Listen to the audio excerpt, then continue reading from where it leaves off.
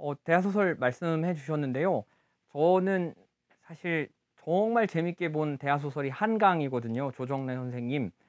어, 한강이 나왔을 때 한지를 한꺼번에 사지 않고요. 이렇게 한 권씩 나올 때마다 아마 고등학생이었을 텐데 한 권씩 나올 때마다 동네 서점에 가서 사서 봤어요.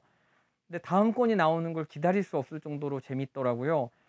왜 그랬을까 생각해 보니 아, 태백산맥 태백산맥도 그렇게 재밌게 읽었고 대부분 고등학교 때 읽었는데 지금 와서 생각해 보면 그 이유가 등장하는 인물들 하나하나의 삶이 시실과 날실처럼 완전히 엮여서 하나의 사회 또는 그 세상을 만들어가는 게 너무 어, 아름답다고 해, 해야 할까요? 그랬던 것 같아요. 그래서 사실 저는 모래시계라는 드라마도 굉장히 좋아해서 대본집도 많이 읽었는데 대본집이 더 좋더라고요. 왜 그럴까 생각해 보니 그 책 안에 녹아 있는 각 사람들이 얼마나 소중한지 그런 걸 드러내는 것 같습니다. 그리고 토지도 마찬가지였는데 등장인물 한 명한 한 명의 삶이 그대로 온전하게 소중한 거예요. 자신들의 삶이 상대적인 각자의 기준에서 얼마나 자랑스럽고 잘 살아왔는지를 평가하지 않으면 안 되는 거죠.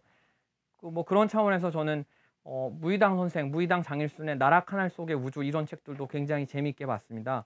그리고 시는 제가 사실 어, 시는 그 한마디가 담고 있는 여러 큰 세상이 조, 너무 멋있어서 좋아하는데 그런데 어, 김종삼의 장편 같은 거는 이렇게 시작합니다. 조선 총독부가 있을 때 청계천변 십전 균일상 밥집 문턱엔 거지 소녀가 거지 장님 어버이를 이끌고 와 서 있었다. 마지막의 끝은 십전짜리 두 개를 보였다.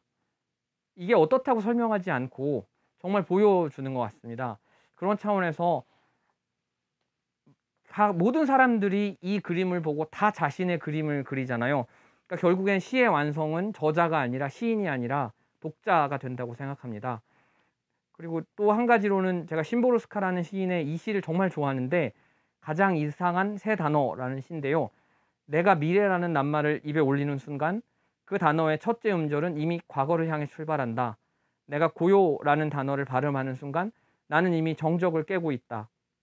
내가 아무것도라고 말하는 순간 나는 이미 무언가를 창조하게 된다.